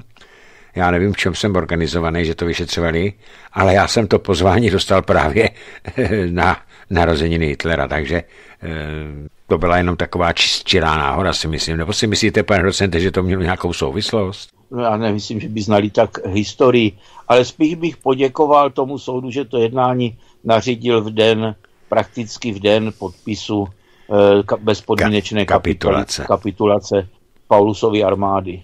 Ano. Tak to bych jim poděkoval. To, že navíc to souvisí s tou Katyní. Že, ano, souvisí to, přímo to souvisí s tou Katyní. To, to jste uvedl velmi dobře. Tak jdu na další dotaz.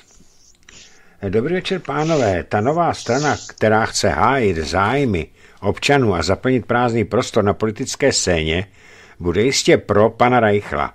Myslíte, že se tam s tím v opozici poperou a půjdou společně k volbám, jako to udělali v Itálii Salvini a Meloni? Teď Itálii díky tomu spojenectví vládnou a naše pětikolka bude též příkladem. Nebo jak to vidíte? Díky váš věrný posluchač Jiří Šmahel z Cheb Podhradu. Tak, pane docente? Je dobře, že uh, sleduje dění uh, těch uh, subjektů, které mohou vzniknout, tak může být i více, což samozřejmě může znamenat určitou komplikaci a hm, to, že se pětikolka pětikolí, teda sjednocuje, tak je dáno tím, že ona je tmelena lepem zvenku. Jo? Hmm. Ona e, není e, lepena zevnitř pocitem sounáležitosti, ale chová se podle scénáře, který je jí předepsán. Proto je také tak soudržná samozřejmě. Ano, protože poslouchají na slovo. A co se týče strany... Nemají, pro... pane, e, nemají, jsou jako ta, ta, ta krasavice, i když zase některým do ní chybí jako dost na ty krásy, ale je to přesně jak od toho Erbena, ach nemám pane vůle jiné, nežli Máti má. Mimo jiné, on se do ní zamiloval místo, aby řekl, no tak když jsi tak blbá, tak jako to mě nezajímáš. No. no. Tak, vemu telefonát. Dobrý večer. Dobrý večer, pane Kapál, tady Němcová. Pane Kapál, dostala jsem zprávu z Děčína, nějaký pan Skalický, myslím, že tam vyrizuje. Chtějí, dělají protest pro, kvůli volbám, že byli podfouknutí, protože přišli na to, že eh, Petr, eh, ten Macron a myslím, že ta italská premiérka, že všichni dostali 58%. No už jsme o tom hovořili, ano, to byl francouzský no. Macron.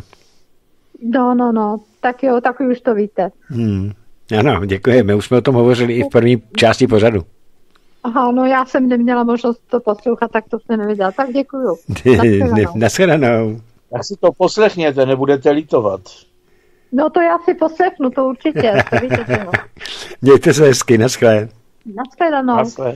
Eh, tak já jenom k tomu ještě k té straně pro. Eh, před, před komunálními volbami, protože v parlamentních volbách ještě pro nebylo, tak eh, SPD se požádalo pro, stejně jako Trikoloru, Svobodné a dalších asi čtyři menší strany, o spolupráci a jednotnou kandidátku. E, zatímco ty Trikolora a ty, ty ostatní svobodní a ty další strany na to přistoupili a dali své kandidáty na kandidátku společnou SPD, tak e, strana proto odmítla s tím a jednalo se především kvůli Senátu, že už mají svý kandidáty v Senátu a stalo se přesně to, před, tím se, před čím se varovalo, já jsem to tady taky hovořil. Vymlátili se dva vlastenečtí kandidáti na senátora mezi sebou, no a dostal se do druhého kola kandidát pětikolky. Takže to jenom, tohle to je fakt, to se stalo.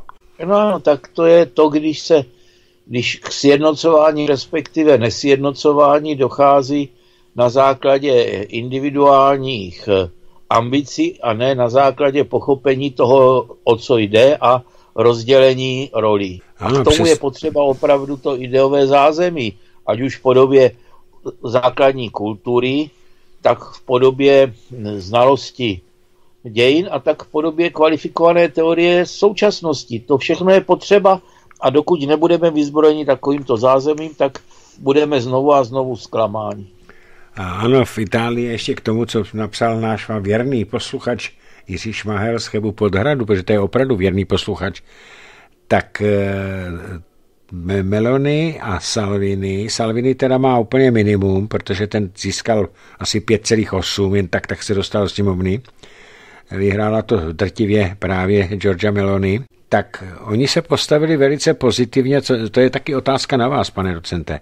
Velice pozitivně se k otázce migrace zakázali v podstatě tu migraci, nebo se ji snaží zakázat, ale eh, vůbec nezrušili vojenskou podporu války na Ukrajině. Posílají tam dál munici a nějaké, nějaké zbraně a nějaké zásilky tam posílá Itálie dál, protože jsem se někde dočetl, že Meloni prohlásila, že politika Itálie se jím nástupem do premiérského křesla vůči Ukrajině naprosto nezměnila. Takže to pro mě to bylo docela překvapivé. Tak eh, co na to říkáte, pane docente? Mě to také trochu překvapilo, ale otázka je, eh, kdo jí zametl cestičku a jakou vůli musí plnit. Já si nejsem jistý, že politikové, kteří se dostanou a jsme zase u toho bez, nemají oporu v kvalifikovanosti té strany, hmm. takže jsou úplně nezávislí. Teď jsem to řekl velmi kulantně. Tak a teďka mám tady dotaz. Eh, teďko přestávce mi Sonja někde přečetla a říkala mi to, takže já Soně děkuji, jestli mě poslouchá, protože ona se nemůže dívat na televizi, nemůže nic dělat s tím, když nesmí koukat moc. Představte si, říkáte tomu, že se někde objevilo, a já teďka nevím, jestli je to relevantní, nebo to, že generál Pavel má inteligenční kocient 108. Je to moc? No, tak já bych řekl, že to je málo. No, já, já, já teda řeknu tady tenhle názor. I kdyby to byla pravda, tak eh, politika není úplně jenom o tom, jaký má kdo inteligenční kocient a já, přestože si nemůžu stěžovat, eh, jaký mám, tak eh, si myslím, že to není tak významný ukazatel, jak se někdy říká. Lidé jsou různí a dobří v různých věcech. Hmm. Já myslím, že tomu je vynikající ten film Rain Man, který ano, ukazuje, ano. jak úplně odlišní lidé a dokonce s poskozením můžou být uh, významní a najít si k sobě cestu. Jo? Eh, čili to, já jenom chci říct, že toto není pro mě tak, eh, tak významné. Ne, to byla jako perlička jenom, že se to objevilo někde. někde v... já, mám, já mám spíš jiné výhrady vůči němu. Já, um, já porovnávám ty výroky, které měl předtím, než byl zvolen a které má nyní. Ano. Je to přesně ten toho takového toho pokrytectví spojeného se sebeklamem a iluzemi o sobě, Eh, jaký jsem, eh, jaký jsem eh, zaznamenal a byl jsem z toho nešťastný. Jo. Já jsem nemyslel, jaký jsem zaznamenal u, u Havla. A některým lidem se to bude líbit, protože se v tom poznají, protože mají tu, tu křivost v sobě také. No já jsem nedávno, jenom že jste si vzpomněl na to, co říkal dřív, tak já jsem nedávno eh, narazil na internetu někde na nějakých sociálních sítích Eh, projevy, dva byly ty projevy zaznamenané premiéra současného Fialy, když usiloval před volbami o to o vítězství. A když to srovnáte s tím, co říká dnes a co říkal tehdy, tak teďka musím použít zase já eh, jednoho eh, skvělého našeho starého filmu, to je Nebe a Dudy. Fiala tehdy a dnes to jsou nebe a dudy. No, jednak eh, jiný příklad, eh, vy si určitě pamatujete a bylo by to dobré, eh, až se ujme úřadu, mu to připomenout, že říkal, že když ho požádá a předloží mu zdůvodněnou alternativu něčeho, co považuje SPD za pozitivní, že bude prezidentem všech, takže půjde na vládu a bude tam prosazovat i třeba návrh SPD. Pamatujete ten no, no, no, v jednom no, z těch teď už říká opak. Teď už říká tak je mu to potřeba je mu to potřeba připomenout a je potřeba přijít se zdůvodněným kvalifikovaným návrhem toho důrazu na individuální prodloužení doby odchody do důchodu eh, s tím, že touto cestou je potřeba jít co nejdříve a že i minister Jurečka tady tohle podporuje a varuje před plošným, plošným tím. Teďka by mělo SPD tady v tomto smyslu přitlačit, protože to riziko, že se tady znemožní reformy na hodně dlouhou dobu a tím oslabí pozice naší země, že místo reform se budou prosazovat antireformy, devastující reformy, tak, mm, tak to riziko je velké, nebo je to jedno z těch dvou velkých rizik. Riziko války a riziko tunelování země reformami. Ano, aby to, oni to asi mají za úkol přivízt to do Řecka, protože Řecko už přišlo v podstatě o, o, o všechno důležité. Nejvíc jim vydělával co do ekonomiky přístav, největší přístav v Řecku Pireus. No a kdo dneska z něj má velké peníze, kdo si ho koupil? Čína. Já mám věc, že Čína, no ano. ano. Čína. Tak eh, mám tady další sms tady volal posluchač a nevydržel, tak to musíte chvilku vydržet vždycky. Eh, dobrý večer. Pod oslavný článek, jak Čaputová už před koncem voleb osobně pogratulovala Pavlovi, jsem napsal, že to připomínalo zprávu o pádu budovy číslo 7 a hned mi to svinský cenzor seznamu smazal. Jak by se to komentovali?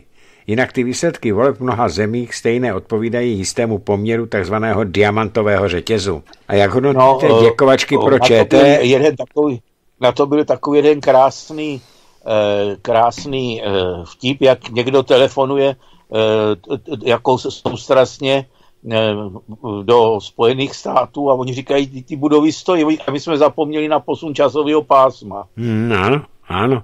Já jsem to ale viděl na vlastní oči.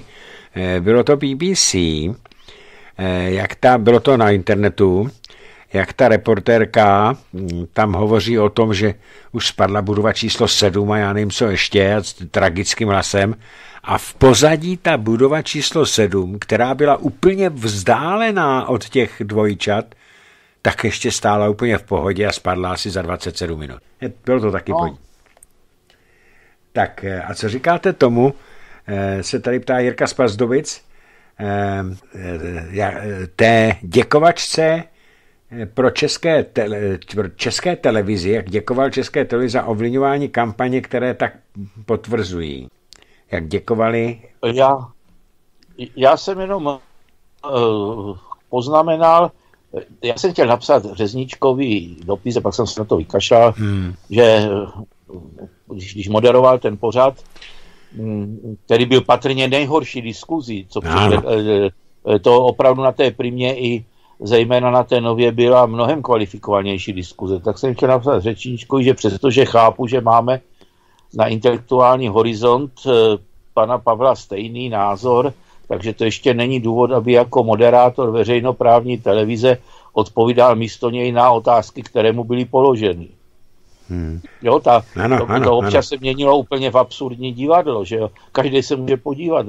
A eh, to, to svědčí o tom, jak, jak, jak tady je to pod, pod, skutečně pod cizím vlivem a jaký s tím budeme mít problémy a znovu říkám zase nic než rozum a opravdu rozum ve vší komplexnosti, čili nějaké to obrození toho národního ducha, eh, tak eh, v něm je potřeba hledat tu cestu, jak se bránit. A nikoli v, v něčem jiném. No. Tak to se ale bych se zase pořád opakoval. Eh, tak eh, tady nám vysvětluje eh, Marian K., jak to bylo s tím pořadem. Já jsem, říkám, já ho neviděl na tom Jasat History.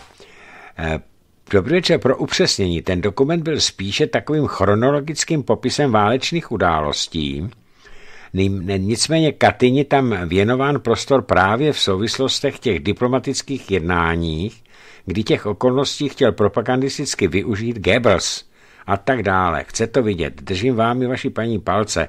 Ale otázka pro pana docenta. Jak si má český volič přečíst ten první telefonát nového pana prezidenta na Tajván? Děkuji, Marian K. Severní Morava. Já jsem to snad nějak sformuloval. Některé formulace je potřeba dělat velmi citlivě, ale mm, sformuloval jsem to ještě před tím telefonátem. Já se to pokusím si vzpomenout, jak to bylo. Eh, eh, jo, že Česko se svou dosazenou Česko se svou dosazenou reprezentací se nabídla jako země, která bude rozjíždět největší a nejnebezpečnější zvrhlosti. Eh, čili to, udeřit na ta nejcitlivější místa destabilizace té určité rovnováhy, která je ve světě. Mm-hmm. Je to sebevražedné, je to zvrhlé, ale já jsem něco takového očekával. Znovu říkám, tato reprezentace nemá vůle jiné, nežli její loutkovodič, což je globální moc, která to není ta oficiální moc ve Spojených státech, to je hm, ti, kteří ten svět manipulují do obrovské katastrofy. Hmm. Já si to nedovedu vysvětlit jinak, než že zatím stojí lidé, kteří, kterým nezbývá už moc let života a chtějí jít sebou, jako když se velmož pohřbíval s celou svojí družinou a manželkami. Ano, to bylo, to bylo v Egyptě. Teď jsem to nedávno četl tady, protože dělám cyklus, velmi rozsáhlý cyklus nejstarší dějiny, dějiny nejstarší říše světa. Tak eh, dokonce byli eh, faraoni, kteří tam měli, hm, bylo to v té takzvané archaické době, tak eh, ty si sebou brali třeba i 80 sloužících, že je povraždili a pohřbili je tam s nima, aby jim sloužili v tom posmrtném životě. A tyhleti, tyhleti starci nad hrobem, tak eh, ti se chovají podobně, máte pravdu, ano. Jen jim to jedno. Já se jenom a, a tady by měli ti, kteří jsou kolem, jsou mladí, jsou bohatí, úspěšní, tak přece jenom se trochu emancipovat a nechtít, aby pohřbených s nima bylo ne, ne 80, ale 10 miliard. No, jako. Ano. Ty problémy světa jsou řešitelné. Ten svět se dá nasměrovat na cestu eh, trvalé, udržitelného a dokonce neomezeného rozvoje.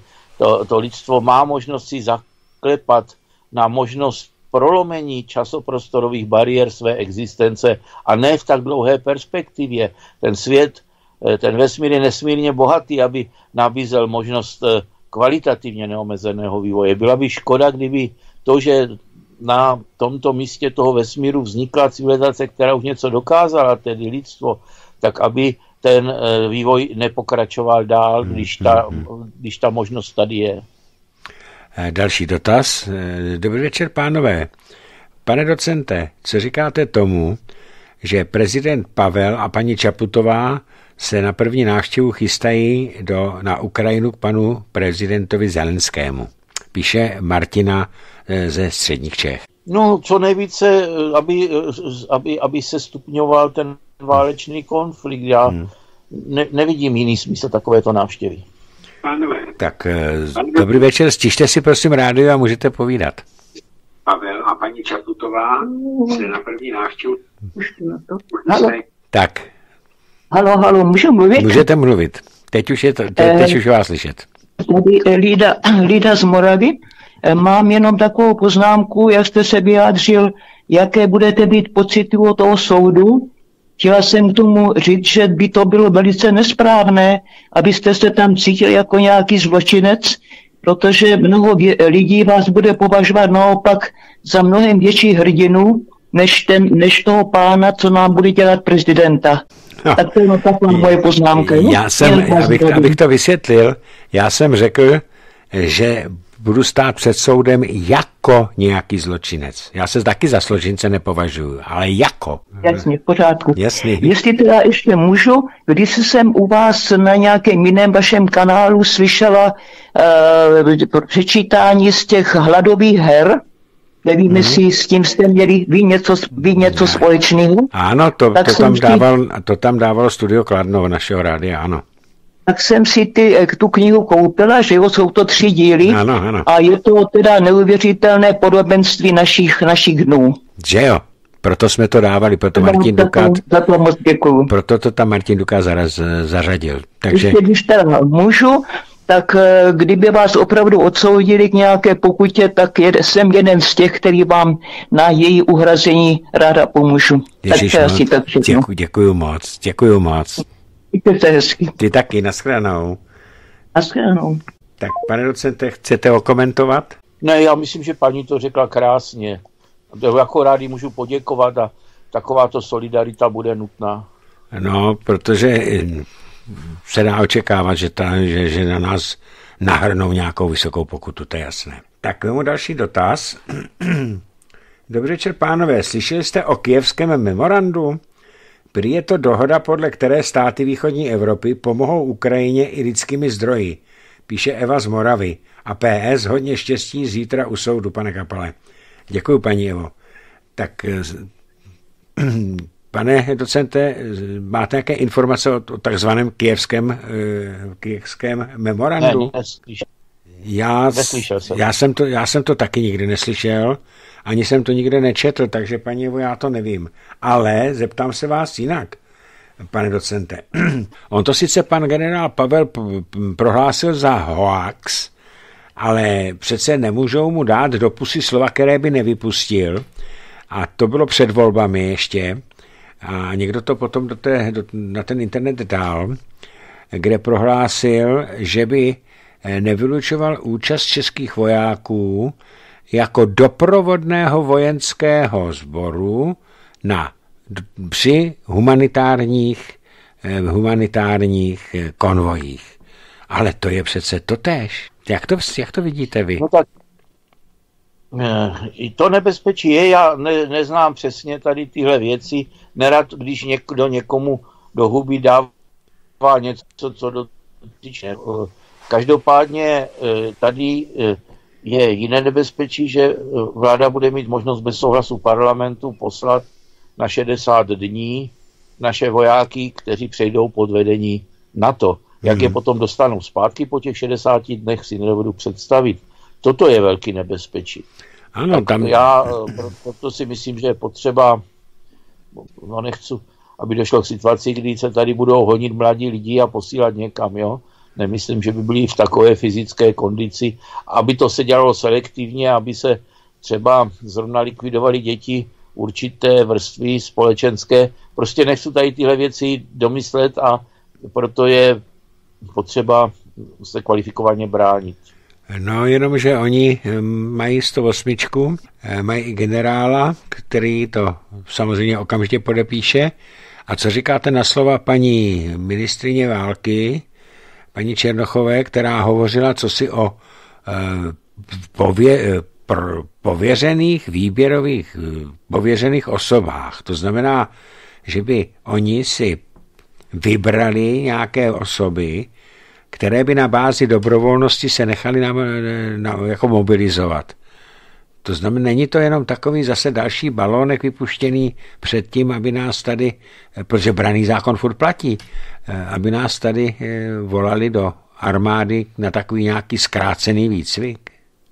No ano, to jsou ty kroky, které jsou, eh, které jsou kroky toho typu vařený žáby. Otázka hmm. je, zda neprobíhá současně, zejména pokud se týká umlčování názoru eh, těch ne, takzvaně nepohodlných, to, to je pravdivých, tak zda nepo, neprobíhá a ne, zejména nenabere ten proces obrátky v tom stylu do nich, dokud jsou blbí. Eh, já se ještě zeptám na jednu otázku.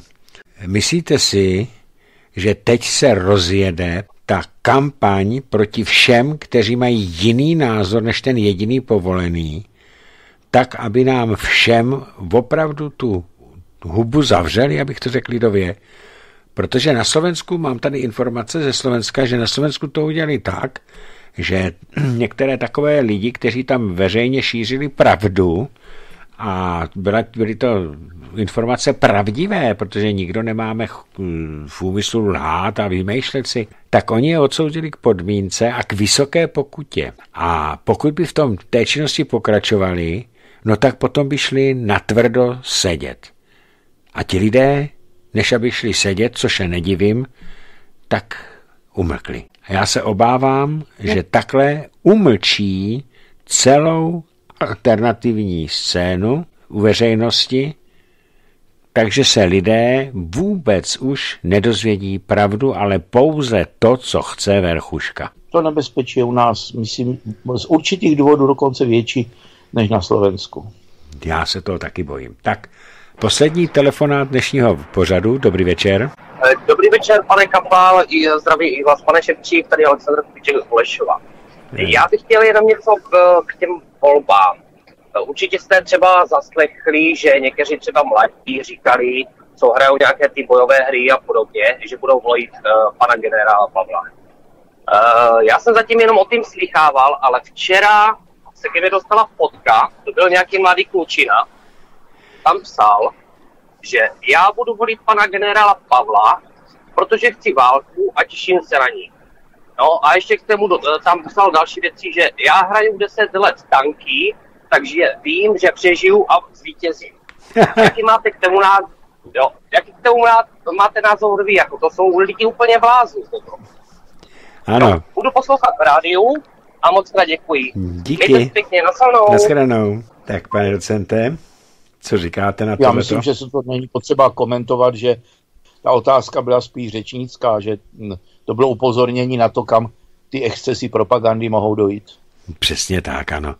Já bych jenom řekl, že tenhle ten kluk, eh, kdyby se dostal do zákopů, eh, tak eh, při prvním bombardování bude mít hnědý kalhoty. Tak poslední, protože ještě máme chvilku, tak poslední sms -ka. Dobrý večer. Myslím, že vlády států jsou postaveny tak, že se má lidská společnost změnit na lepší, laskavější, spolupracující, šetrnější k přírodě a tak dále. A na to Češi slyší. Jenže jedná se o falešné plány. Svět se má změnit jinak. Vys, co se všechno dneska děje. Zdravím, píše Emma. Přesně tak, co jste říkal, pane docente. No ano, no tak je potřeba najít kvalifikovanou alternativu. Já se to snažím dělat s kolegy s poměrně velkým počtem lidí. Budujeme, nebo jak já říkám, pěstujeme tu komplexní vizi toho, jak by ten vývoj mohl pokračovat a proč tomu tak není. Tak vážení Zase můžu odkázat na svůj blog, tam každý najde každý den něco, další krůček k tomu, jak si o tom udělat lepší představu. Pane docente, díky, že jste si na nás udělal čas. A vy, vážení přátelé, zítra nebudu samozřejmě vysílat, protože nevím, kdy se dostanu domů, zda se vůbec dostanu domů. A e, ve čtvrtek bych tady měl mít e, skvělou ženskou paní doktorku Pekovou, takže doufám, že ten pořad si nenecháte ujít. No a s těmi, kteří nás tam přijdete před ten soud na ten ovocňák podpořit, tak se zítra rád uvidím. Ode mě je to všechno, pane docente, díky.